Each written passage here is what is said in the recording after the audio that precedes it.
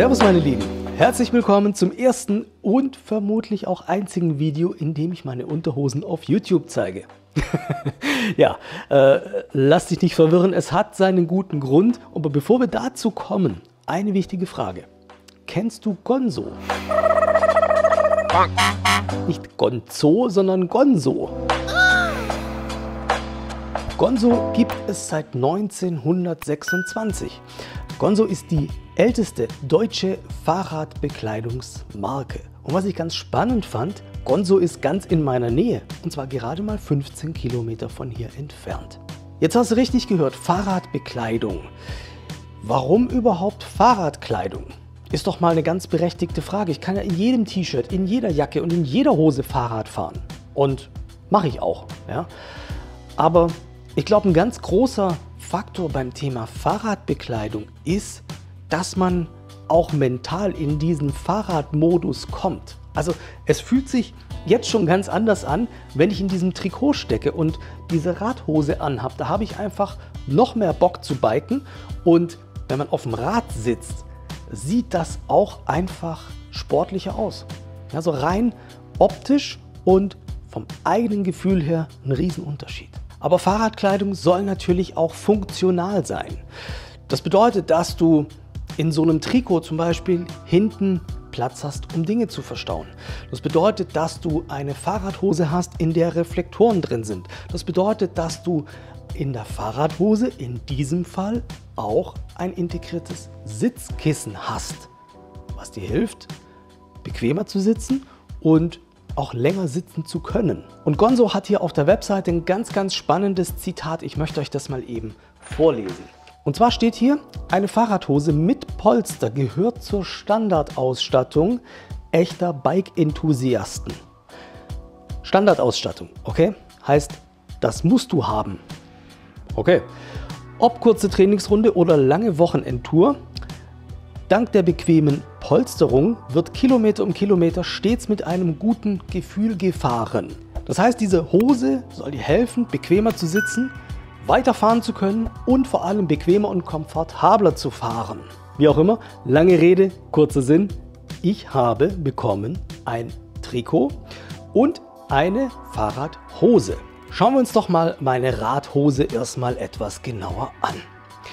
Ich habe bekommen das Modell Arico. In diese Radhose kann man eine Radunterhose einknüpfen. Das heißt, da sind so ein paar Druckknöpfe dran. Damit kann man diese beiden Hosen miteinander verbinden. Und in der Radunterhose, da ist ein Sitzpolster eingenäht. Also ein weiches, ich nenne es mal Gelkissen, das äh, dir einfach zwischen Sattel und Arsch einen erhöhten Komfort bietet. Sieht ein bisschen komisch aus und ich muss dir auch sagen, es fühlt sich beim ersten Anziehen auch echt komisch an. Fühlt sich, als hättest du dir in die Hose ge... Das macht aber nichts, weil man vergisst ganz schnell, dass da ein Kissen in der Unterhose eingenäht ist. Und es geht ja auch nicht um den ersten Eindruck, sondern es geht darum, wie gut dieses Kissen beim Fahren den Komfort verbessert. Und das testen wir natürlich auch gleich draußen in der Praxis. Dasselbe gilt für das Trikot. Es ist für mich extrem ungewohnt, ein Oberteil zu tragen mit Reißverschluss hier in der Mitte von oben bis unten. Ist irgendwie komisch, ne? Aber ein Fahrradtrikot sieht halt nun mal so aus. Und ganz ehrlich, auch hier, das ist komisch beim ersten Anziehen, weil du ziehst es irgendwie an wie eine Jacke, machst es dann zu. Aber wenn du es anhast, dann hast du es an. Den Reißverschluss spürt man überhaupt nicht. Und was ich auch gerade so gemerkt habe, der Stoff, der fühlt sich echt der fühlt sich echt gut an. Also tolles Gefühl auf der Haut und damit glaube ich erstmal auch genug gesagt für hier drin.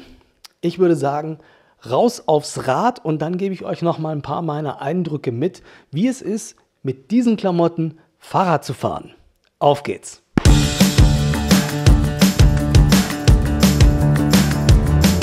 So, perfektes Wetter für eine schöne Biketour, für eine ausgiebige Biketour. Für eine Biketour, die vielleicht sogar länger wird als die meisten Biketouren, weil mir der Arsch vielleicht nicht so schnell wehtut. Ich bin sehr gespannt. Äh, Sitzpolster sitzt zumindest schon mal. Ähm, ich bin startklar, wie immer hier an meinem üblichen Startpunkt.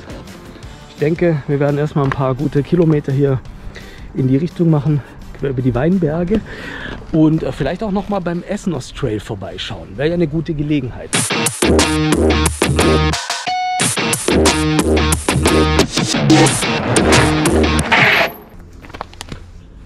GoPro vergessen.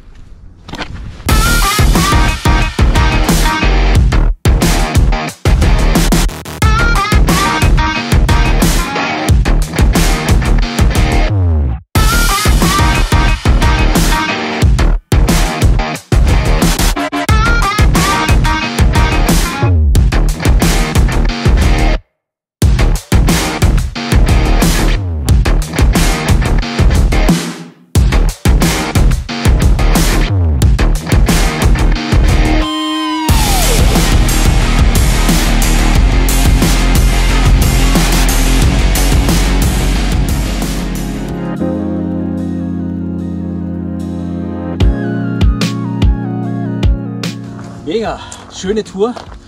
Hat auf jeden Fall richtig Bock gemacht.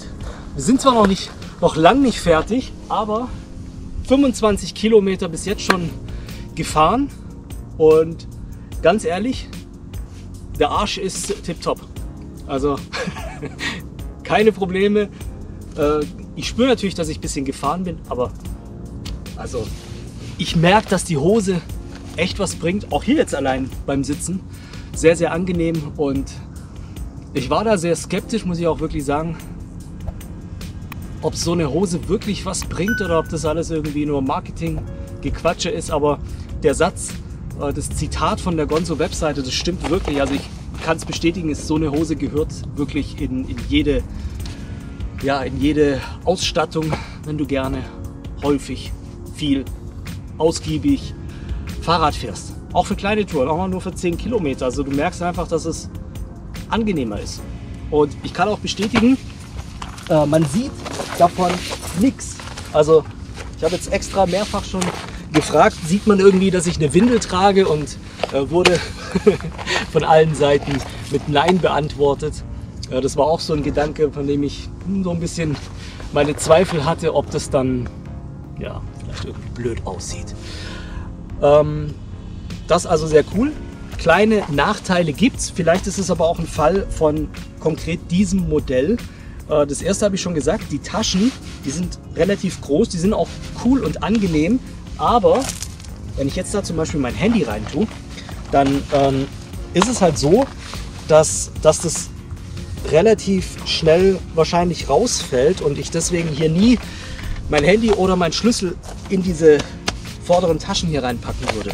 Deswegen würde ich hier wirklich die Reißverschlusstasche dafür benutzen oder eben natürlich dann am Trikot hinten. Äh, hier kann man auch gut Dinge verstauen. Ich habe jetzt hier zum Beispiel meinen Schlüssel drin. Da kann man aber auch wunderbar einen Müsli-Riegel reinpacken oder eine Regenjacke oder Geld und eine Maske, solche Sachen. Was man halt so braucht auf der Tour, hängt natürlich auch mal ein bisschen von der Tour ab. Und insofern hast du da hinten auch noch mal im Trikot einfach einen guten Stauraum, um ja, deine Ausstattung bei dir zu tragen. Ohne Rucksack. Und das ist ja auch oft was, was so zum Freiheitsgefühl beiträgt, finde ich. Wenn man ohne Rucksack fahren kann, ohne zusätzliche Taschen und alles am Körper trägt, dann weiß man auch, dass man es hat. Ähm, ja, in diesem Sinne, Fazit. Coole Klamotten, sehr guter Komfort beim Fahren. Und natürlich gibt es auch unterschiedliche Modelle. Also muss ja jetzt nicht unbedingt genau die Hose oder dieses Trikot sein. Und äh, da muss man natürlich gucken, was, ja, musst du selber gucken, was dir persönlich am besten gefällt und was dein Style ist und ähm, ob du dich damit auf die Straße traust. Ja? Auch diese Sitzkissen, da muss ich mich aber selber noch einlesen, die gibt es in unterschiedlichen Dicken und in unterschiedlichen ähm, ja, Ausführungen für Rennfahrer, für äh, Rennradfahrer, so muss man sagen, für Mountainbike und für Touren, glaube ich. Also drei unterschiedliche, egal, könnt ihr selber nachlesen. Äh, zieht euch das mal rein, was zu eurem Fahrstil und ja, zu eurer Sitzposition am besten passt. Und vielleicht gibt es ja irgendwann auch mal ein Follow-up-Video zu diesem Thema. Ich freue mich auf jeden Fall jetzt mal auf eure Kommentare. Fahrt ihr schon mit, ich nenne es mal, richtigen Bike-Klamotten oder fahrt ihr lieber mit Jeans und T-Shirt? Oder kommt es immer so ein bisschen auf die Gelegenheit an? Bin sehr gespannt. haut in die Tasten und wir sehen uns beim nächsten Mal. Bis dahin, fahrt vorsichtig. Immer mit Helm, ganz wichtig. Und bei so einem Wetter auch mit Sonnenbrille. Bis bald.